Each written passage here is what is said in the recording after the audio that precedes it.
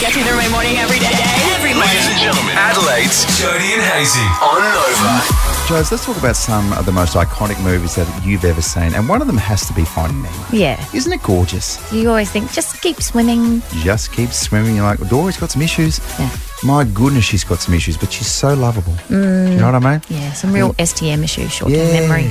spot And on. I can relate to that. And your Dory. Oh my gosh. You- well, that is congratulations to us. We've just uncovered something.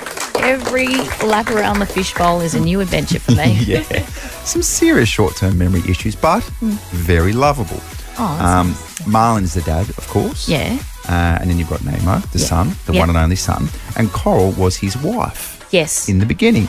Um, there's a very, very traumatic scene right at the start Mm. where he's got all the babies. He's in his idyllic little situation where um, he's got the prime real estate um, and he's sitting there with Coral as well. And then all of a sudden, a big bad barracuda fish just absolutely turns that scene upside down. Corey, don't. They'll be fine. Just get inside. You, right now.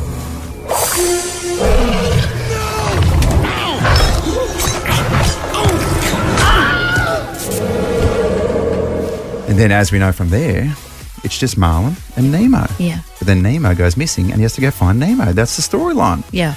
So there's a few theories circulating the internet right now which are absolutely going to blow your mind. Is this what you've been up to in your spare time? 100%. I call it research for work. Okay. I watch kids' movies at home and call it work. So we just assume that the Barracuda destroyed the family Yeah. and took uh, Marlin's wife as well, Coral. Okay. A few marine biologists have piped up. Oh, God. And where are the marine biologists when you need them? Well, finally, they're here. And a couple of them have said, well, here's the thing about this particular scene. Bear in mind, Pixar do not factually miss. Okay. They do not factually miss. They know exactly what they're doing for every single little detail. Um, these guys have said, hey, guess what, guys? Unfortunately, Barracuda, they do not eat clownfish. Oh. And they do not eat clownfish eggs. So, what was the demise then? Who was responsible? On top of that, guess who does eat clownfish and clownfish eggs? Who? Clownfish. Right. The male clownfish would tend to tend to the eggs until they hatch. He'll scope out any unviable or damaged eggs, and yes, he'll eat those if he doesn't think they're going to be good. Sometimes all the eggs will be eaten, especially during the parent's first few attempts, but in particular, the female is very, very prone to eating eggs and then shifting off into a different space. So, here's a con- conclusion. It wasn't the barracuda, it was his wife What? who destroyed the family. Why? Let that just sink in and blow your mind. Why? Because she's a greedy little clownfish. and she got hungry and ate all of the eggs except for Nemo. Wow. Isn't that just shocking? It's a very sinister theory you've come up with there. That is the latest theory during the rounds on the internet. Okay. Because, like I said, Pixar factually do not miss. Hmm. They would not make a mistake like that. Do you know what my takeaway from this is? What's that? You should never have a day off Channel 7 if this is what you get up to.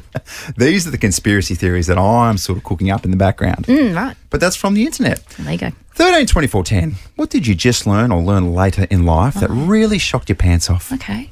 Um, can we call producer Emily to the stage? Good morning to you, Em. Good morning, guys. Um, so this one was uh, something my best friend actually texted me during the week. Um, the numbers on a toaster. Yeah. I think we all assume that's just how toasty. That's you the want heat, your isn't it? level of Yeah. toastiness. So if you want it light brown, if you want it char grilled, whatever. Six is really, really going for it. It's just how long it's cooking in there. One on the toaster knob is one minute. No, it's Yeah. you sure? Yes. The internet told me. So it must be true. wow. We've got a toaster in the kitchen. We should test this. We thing. should test this. Definitely test this. There is theory. another one, which I think is something that I literally only learned two minutes ago. Buttload is an actual measurement. butt load. Yep. So, so if you say I've got a buttload of milk, that would that would mean you have 477 liters of milk. Wow. You are welcome. That's good, isn't it? Uh, that's they used to use that for um, wine casks and barrels. So a buttload is 477 liters. Give us a buttload of wine, thanks. Yeah.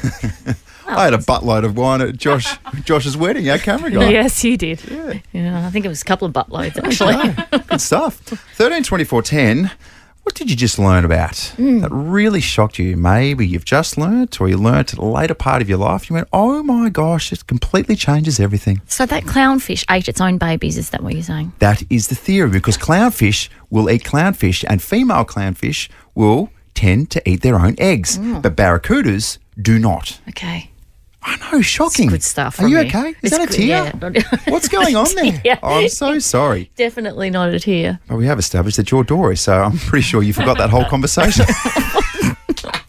Holly, we are asking the question this morning on 13 24 10. What did you just find out later in life? Go for it. Um, can confirm um, clownfish are very territorial in their own species and they're born non gendered, um, and the more dominant one turns into a female. well, there you go. Whoa. That Yeah, kind, that and makes I- a lot of sense. I've lost a couple of clownfish myself because the female has killed them. Really? Yeah. So, can you can you confirm that this is probably what happened to Marlin's family? it's not real. When I was learning this myself with my own experiences, this was only last year. I lost about two or three.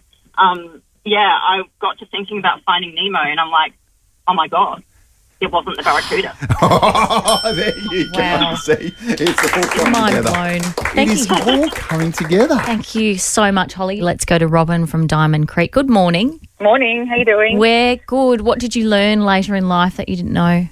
Uh, that the letter W is called W because it's two U's put together. Oh, Oh my U. god, it is so oh. simple. isn't it? Yeah. It's so simple. How do we not Yeah. know that?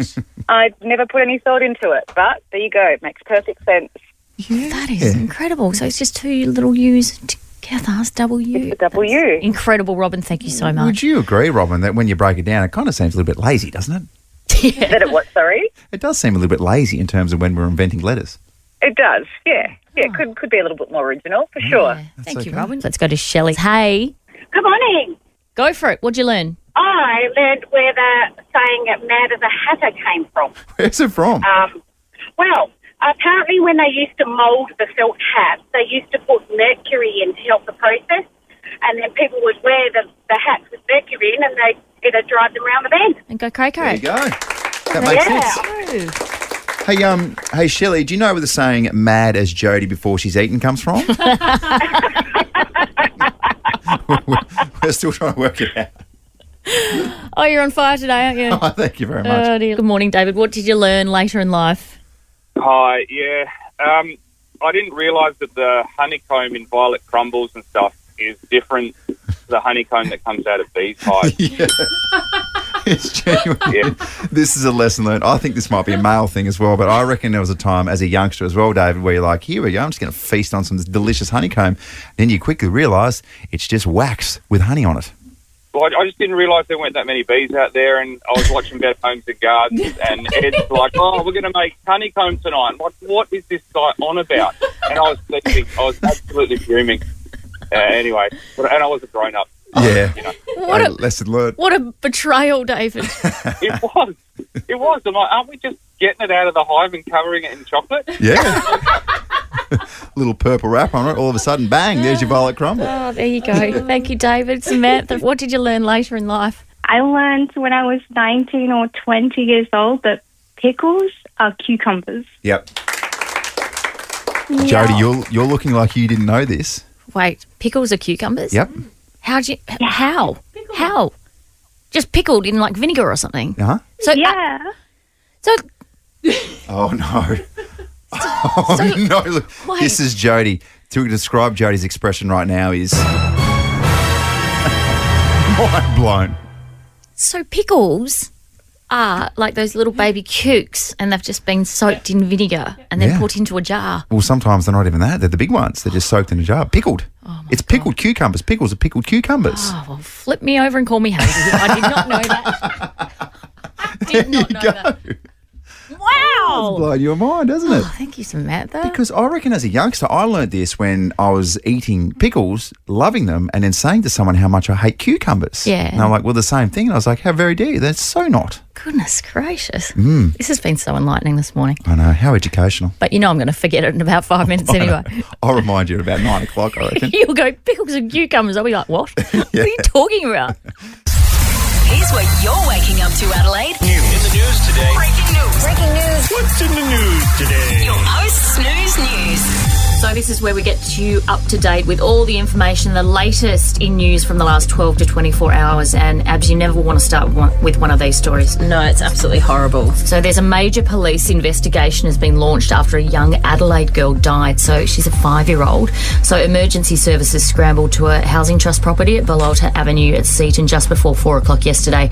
Following reports, the five-year-old girl was found unresponsive. Also disturbing, it was reported by another child in the house. So Yeah, this is interesting, and uh, there's word as well today that maybe the child isn't from, she didn't live in that home. Okay. Um, but no one's been arrested. There hasn't been any charges laid or anything yet, but it's one that we'll definitely be watching this morning. and also major crimes say they're they're involved um, because of the age of the child. So Yeah, yeah. watch this space for this story, but it's a horrible one. Very, very sad. Uh, heading in a different direction. Obviously, we're on weather watch today because it's going to finally see some rain across South Australia. A little bit is um, happening across the skies at the moment, but it's set to ramp up from sunrise. Producer M drove through Mount Barker this morning. She said it was super windy and a bit of uh, debris on the road, so just be careful there. Oh, I'm sorry. I'm sorry. Can I just say something? Can I just say something? Great for the garden. well, the farmers need it. We are desperate. We are so desperate for it. So it's good. Um, but just keep an eye out for obviously roads are going to be slippery. So we do have a road weather alert out. There's some power outages as well affecting around 600 homes and businesses in North Brighton, Oaklands Park, Somerton Park, and Warradale. Um, so there's some lights out across that region as well. So just be careful if you're driving this morning. Um, it is going to be a top of 22 at the moment though. So that's great. But it is going to drop as we head into the day. So yeah, good weather chat. Certainly had a little power outage in here this morning, but that's okay. That's another story for another day. That's all right. We're solar powered. We'll fire through. You better believe that. Um, that is your post snooze news. Just a quick reminder as well. Port Adelaide tickets. Yeah. Oh, hottest tickets in town right now before the Matildas take over tomorrow night. But that's okay. We're living in the moment. We've got some tickets to give away just after eight o'clock. Port Adelaide v Carlton. Can we talk Nicki Minaj? Absolutely, we can. We've always got space for Nicki Minaj. She has been mocked um, and received some very mixed reviews from fans after she was asked. She asked for a moment of silence for her dear friend, Princess Diana. Yes, you heard Bird Turd. She said, "Princess Diana is my dear friend." Wait, the late Princess Diana. Yes. And uh, we're talking very late. Yeah, and so um, she called for this moment of silence and then posted the video on TikTok. And here's some of the comments underneath: "A dear friend of mine?" Question mark. She been dead since 1997. One person wrote. She gone, sister. She gone.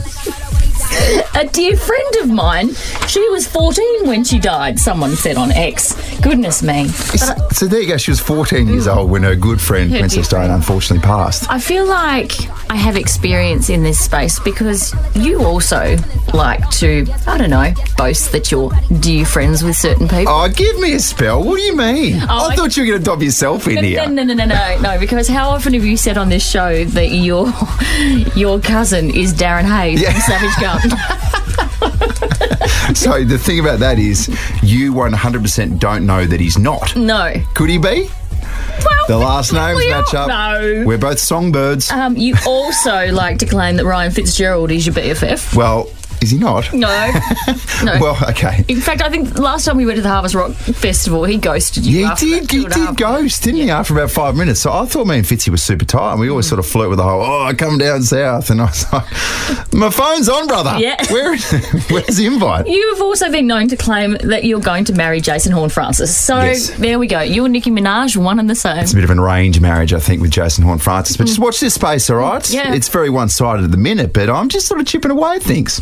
Um, yeah, actually, uh, one thing does come to mind in terms of my short, ineffective stint at the Sydney Swans. Mm. Do you remember a bloke? And of course you do, because you, even if you have a slight knowledge of football, you know who he is Michael Magic O'Loughlin. Are you just saying I've got a slight knowledge of football? I'm saying even just if you did, whack me? everyone know you have a good knowledge, but even if you didn't know football, you'd know who Magic O'Loughlin is. Yeah.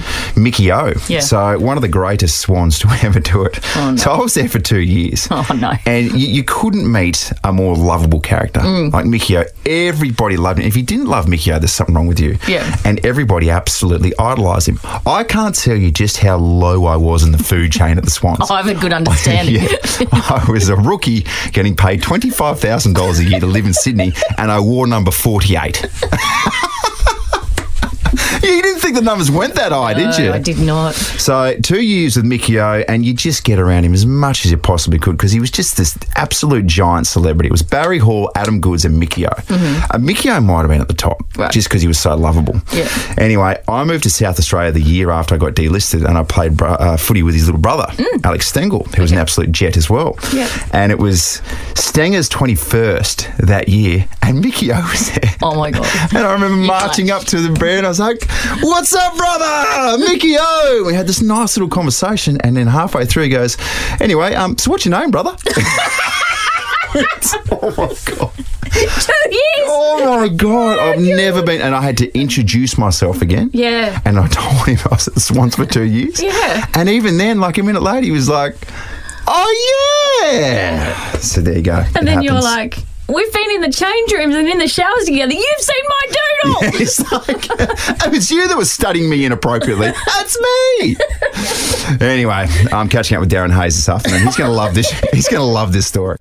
Joe, something floated across my desk the other day, uh, and I was reminded as well of something that's happening in Norway, which is a really, really good thing. And like we always say, um, the best way is in Norway. It's their national slogan. It's their slogan, and it makes sense. So it's been going for a while now. In 2021, there's a law that requires any advertisement featuring edited image images must clearly label them as such. So this particular legislation, in effect for several years, aims to combat societal pressure to conform to unrealistic beauty standards, especially, and this is the big one.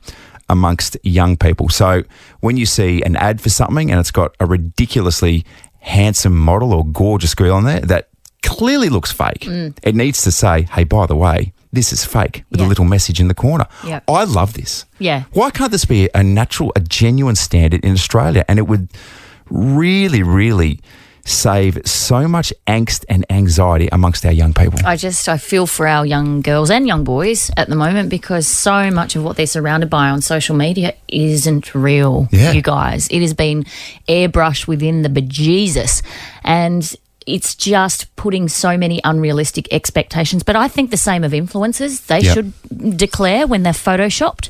I think the same of Princess Kate. She should declare when she's photoshopped. she took it to the next level. no, but you, I mean, you talk about the Kardashian generation. They're, that's not what they look It's like. fake. You guys. It's fake. It's completely fake. And there's some good memes going around.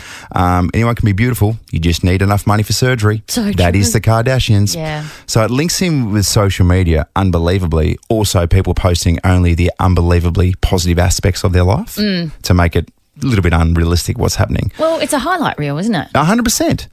But these photos, and I want to ask you because it it would break my heart. Right now, I've got a, a six year old boy who is he's all about comfort, and hopefully he stays in that direction when it comes to looks and fashion. Yeah. comfort first. Well, if he's anything like his dad. yeah, it's all about comfort. But I've got a three year old as well, and it would break my heart to know that when she got to the age of probably sort of 11 or 12 onwards, that she would be anxious and, God forbid, would suffer depression Yeah. because of these unrealistic standards. Well, to extend on that, all the young girls these days, too, especially mine, 11 and 12 year old, are all into the beauty products.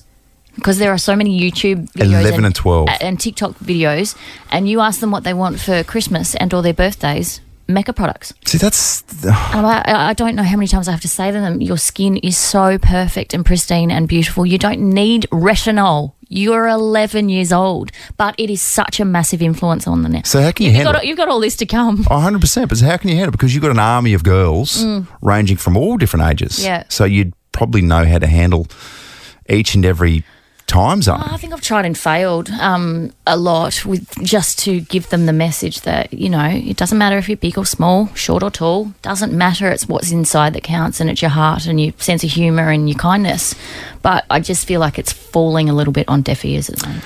Um, so there's a very positive message in this, in that all the photos and stuff that you basically see are pretty much going to be fake and they're unrealistic. Mm. Um, love that to be a genuine standard in Australia. Who knows what's going to happen in the future? And I'll leave you with this: next time you see a Jodie and Hazy advertisement, look at the photos. Completely fake. Mm. Fake. Mm. That's that's that's not me. No. That's me brushed. That is you brush, but didn't you ask them to brush out a little bit? Of the, I did as well. They brushed. Hey, they got rid of some of my grey hairs. And I said I had a little spot on the side of my head because I got a little bit of alopecia. I had a bit of a patch, like a coin size, and I was like, just get rid of that. And they left it in. so there's a bit of truth to it.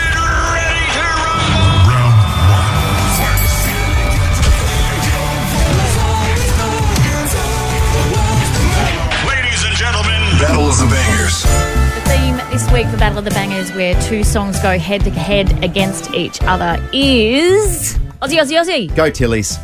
So, let's think of the most Australian song that you can possibly think of. And I've taken it one step further this week because I've gone the most local song that you could think of from probably the biggest hip hop band this country's ever seen. Okay. Yeah. Locally. Yeah. Oh, you've channeled into the bloody Hilltop Hoods, haven't you? I have. Oh, good, good selection. Or the It's boys- hard to miss with the Hilltops. The boys that you claim to be mates with. Ah, remember that? Yeah, remember I, I, I sat next to Dan Smith at a at a function at a Sammy D Foundation dinner one night, and I, by the end of it, thought that we were genuinely best mates. Yeah. And then we interviewed the Hilltops not long after, Mm. and I just wonder, I just wonder if Dan Smith even remembered. No real recollection, I don't think. He's a good guy though. Yeah. All right. I lost him. uh, Just by the way, I lost him when I fanboyed you over him Yeah. because I was like, "Hey, some of your songs, can we talk about that?" Yeah. And he didn't physically do it, but I was like, I sort of felt like a bit of a, oh, here we go. Yeah, yeah, yeah, yeah. God, you've you've had some real hits and misses with people that you admire, like time. that time you met Brian Taylor. Yeah, that didn't go as planned. hey, we sort worked of saw things, saw, saw things going differently in my head with that one. we worked together at Seven Sport. Yeah, like, good on you, mate. Good on you. I think he champed me once one stage. Did he too. champ you? Might have sported me as well. Good on you, lot- sport. A lot of people that you feel like you've had a connection with that you really haven't. Anyway, play my song Hilltop Hoods. It is nosebleed section. Oh, nice. Full That's good. in the front, That's good, Jodes. in the nosebleed section. Bit of nosebleed section. Yep. That is iconic to South Australia. And like you say, to the hip hop industry in Australia, the Hilltops genuinely put Aussie hip hop on the map. Took it to the next level. Really talking my song up. I like this from you. You know what? I really, really like your song too. I'm going to be honest. So while we are talking about iconic South Australian bands, Yeah. and given it is on theme as well Mm-hmm. for the Valo 500,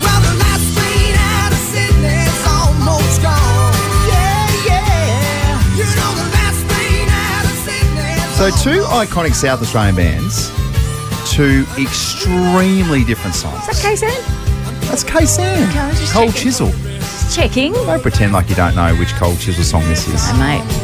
I, I just I thought you might modernise things a little bit. You know. What do you mean modernise Just things? go go with someone a little more recent. I'm not even sure um, which song's older. Khe Sanh or Nosebleed Section? No. Nosebleed Section's pretty old. Khe Sanh? No. How dare you tell me to modernise things? They're celebrating 50 years together. Who's that? The Hilltops. no. Uh, a couple right. of good songs, though. Get voting, please. Jodie and Hazy Instagram page. What do you want to hear tomorrow morning at 8 o'clock? Ooh, Hilltop Hood's Nosebleed Section or Khe Sanh by Cold Chisel. This score, as we sit here today, is 11 to 6 in my favour. But But you're coming off a win. there is a trend. I think I've won the last couple, actually. Have you? Are you two in a row for you? Yeah, I think so. Is that right? Not sure about that, Screw your Nose up, producer Emmett, mate. Yeah, not sure about that one. Do you want to hear something funny? Yeah, go on. Khe Sanh was released in 1978 and the Nosebleed Section was released in 2003. In saying that, abs, 78 to 2003, what a blur. Am I right? well, for Jodie it would have been. That's what it's all about. That's good stuff. That's good banter. Love you. Uh, good stuff. And that's why you should vote for my song. Doesn't make sense, does it? No, it doesn't. All right, get voting at Jodie and Hazy. He's just texting my little four year old who is on her way to kindy as we speak. And the most magnificent thing is happening there at the moment to her little kindy. And they do, just, the teachers, the educators there are so wonderful. Um, they're teaching the kids all about Reconciliation Week because it is, of course, this week. And which is really lovely. So when they get to kindy this morning, they'll greet each other in Kaurna language. That's really nice. And they've been teaching them all their different body parts and how to say them in Indigenous language, which is so beautiful. And so we're sitting on the couch last night and we were just talking about it all. And I said, Tell me what all the different names for the different parts of your face are. And this is what she said.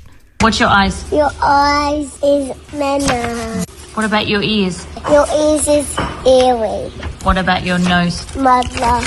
Muddler. What about your head? Your head is my garden. Okay. And so what do you sing every time you get to school? The garden and the village. Oh, well done. How good's that? She's four. So I just love that. We didn't, certainly didn't have anything like this when we went to school back in the day. Shut up, Abby. Oh, 100%. we just kept the mouth shut. I am only saying that because that was your cue for an age joke. Yeah. Um, it's good though. I mean, for those who are probably unaware, Hmm. and we're not all 100% up to date with everything. So, National Reconciliation Week Yeah. is a time for all Australians to learn about our shared histories, cultures, and achievements, and to explore how each of us can contribute to achieving reconciliation in Australia. And I completely agree with you, Jodes. Yeah. Um, we didn't have this when I was a youngster. No. But if we did, where we could come together and share information and Mm. celebrate, it would be a really beautiful thing.